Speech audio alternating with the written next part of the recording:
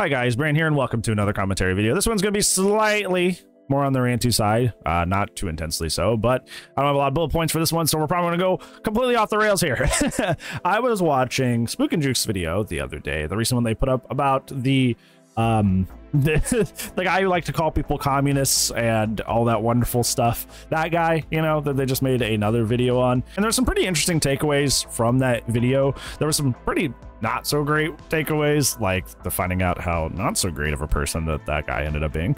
But i think one of the interesting takeaways the best conversations that I heard from that, that on a like a casual level, that was good for us for the Dead by Daylight community, was Spook and Juke's uh, analogy of the battle royale uh, when it comes to player entitlement because I thought it was really interesting and actually fully encapsulates the problem that a lot of us have with Dead by Daylight is the entitlement among players and how it just like truly doesn't make any sense. So if you have not seen the video, very shorthandedly, I'll go over it for you.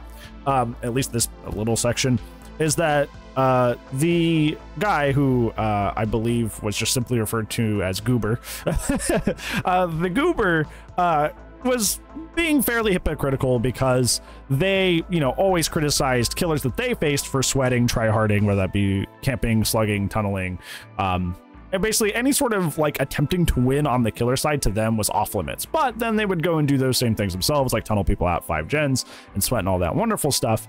So there was a lot of hypocrisy going on with that player in particular. But what the topic got onto is Spook and Jukes is like kind of what they're known for, which is their basement Bubba. And Goober decided to criticize Spook and Jukes for not giving the people that they would hook in basement a chance.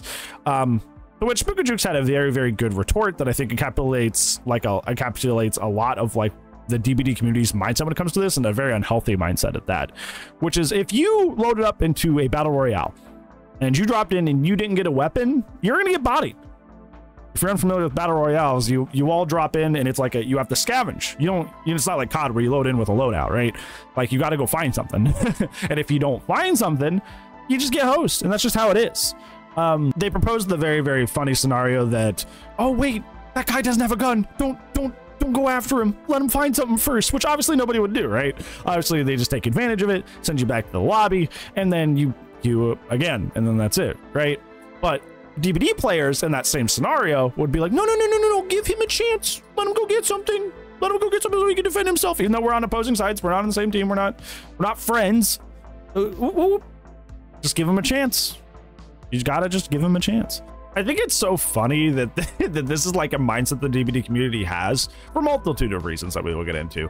But I find it just so funny because this is a game where you can rig the results in your favor so heavily if you choose to. Like, if something goes wrong in a game and you really, really wanted to win, and, like that was like the only way you were going to have fun, you could have rigged the game in such a way that you would basically win no matter what, or be, have a very slim chance of losing. Like with Survivor, like running quad meta perks, BNP, and going to like Eyrie of Crows. That sets you up for a victory in nine times out of 10.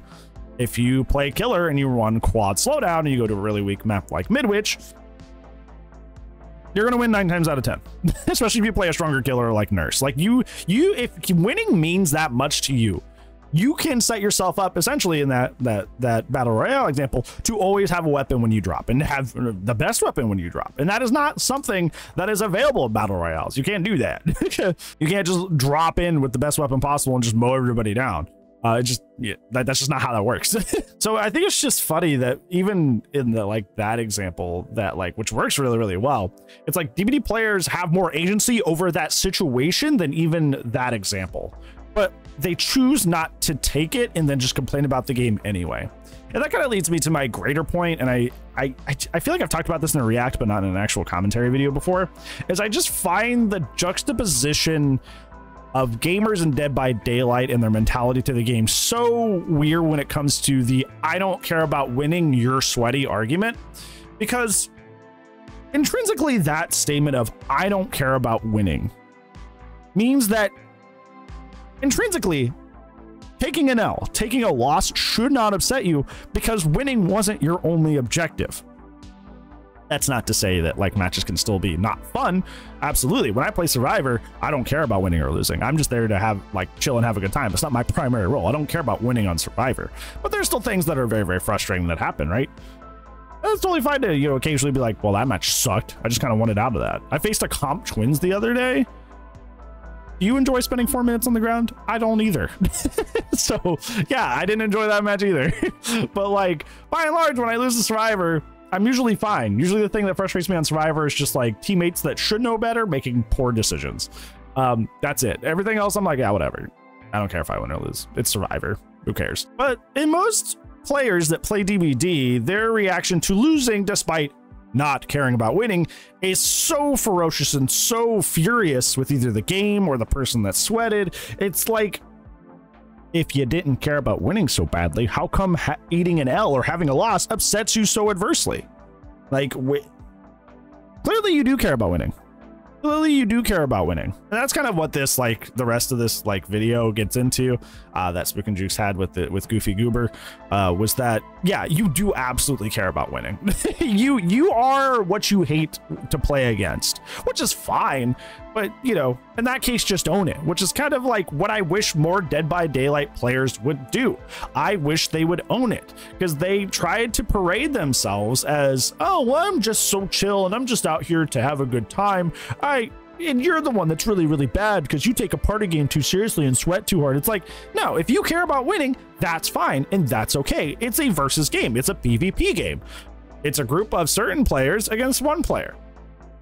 It's a group of four people against one guy. And they go back and forth, and somebody eventually comes out on top. It's only a team game between your fellow survivors if you're playing on the survivor side. Even then, some people play survivor only with the interest of getting themselves out and playing as selfishly as possible. So that's not even always the case. It's a versus game at the end of the day. So if somebody really wants to win or really tries to win, it's a versus game. Somebody is going to get the W either way, and some people care about getting that W, and some people do not. My thing is just like with anything, just own it. Just own it. Just be you. If you care about winning that badly, just say you care about winning that badly. I think it's just one of those things that in gaming in general, it just, I feel like like being sweaty in general is just kind of like a insult that people hurl around a lot. And I feel like in general, it's just way, way harder to admit that I was just as sweaty as you or wanted to win just as badly as you, and I didn't. And I lost. And that's a that's a hard L to hold. It's a hard feeling to accept. Is like I actually really, really wanted that. And you directly got in the way and you took it from me. It's it's it's you conceding to the other party, which is, you know, for most adults, a normal, mature thing to do is just either say GG's, or if you are so tilted, if you are so fr frustrated with the result, just go next. If you are mad, you don't file a false report against them like Goofy Goober did. You don't leave negative comments in their profile. You just go next. That's what I do. When I get super mad or super furious with a game that just didn't go well, I just go next. If you don't have anything nice to say, don't say anything at all. It's okay to be mad about something that you were interested in, something you care about. But like pretending you don't care and me like, well, you ruined it because you're bad. Like it's like just own it, man. like it's okay to care about winning the game. I don't know why it's like such a such a, a a black mark, a curse to openly say you care about winning in Dead by Daylight. Like it's I don't know. I guess if I had a TLDR to this, I know it was more ranty, and I warned you about that. uh, but if I had a TLDR to this, I think it's just that I wish people were more honest about how much they cared about winning Dead by Daylight instead of trying to always blame the other side for playing in a way that ruined their fun when hey, maybe if you weren't riding all of your fun on victory and then pretending that's not what you were doing, maybe you'd have more fun games. maybe if you were just more honest with like your intentions and what you wanted out of a game of Dead by Daylight, you would enjoy it a bit more. These kind of videos are usually really, really hard to do because I'm just trying to talk about like in a vacuum, a specific group of people that like say they don't care about winning and actually do, and then get really angry and frustrated and take it out on other people. I'm talking about like that specific group of people. Usually when I refer to people like kind of intentionally creating their own misery in Dead by Daylight. There's always the, um, actually, DBD is just actually frustrating. And I can't believe you're like discounting people's experiences. That's what I'm doing. I'm talking specifically about those gamers. Like I said, I I gave an example in this video about how like I faced a comp twins recently and it was miserable because I spent most of the game slugged and not playing. like not having the ability to play the game was really boring and I just wanted out. But since there's no bleed out mechanic on the floor, there's no give up mechanic on the floor, I just had to sit and wait for that twins to play the game. and I was like, hmm, I could have been like halfway through another game right now. but like it was it was annoying. So like I I get it. I understand. I'm not saying everybody who doesn't enjoy DBD, it's all their fault. I do not say that. Making that clear. Making that clear. Because if I don't make it clear, I'm gonna have to like like talk about in the comments down below for a lot. So yeah, I didn't say that. So don't say that I said that. I'm thinking a lot lately recently. I know if this is gonna be part of the video, but it's been happening a, a lot recently. where like I'll be like, oh well, two plus two equals four, and he's like, oh well, you hate the number five. I'm like, that's a whole other video though.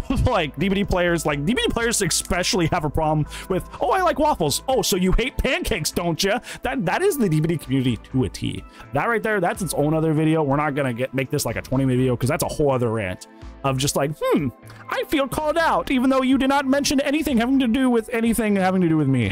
so I'm going to freak out and get mad.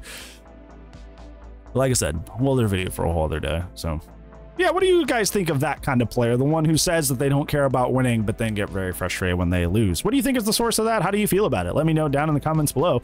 But that's going to be it for today's video, friends. But I do upload daily, so I will see you tomorrow. But if I do not, I will see you when I see you. Goodbye.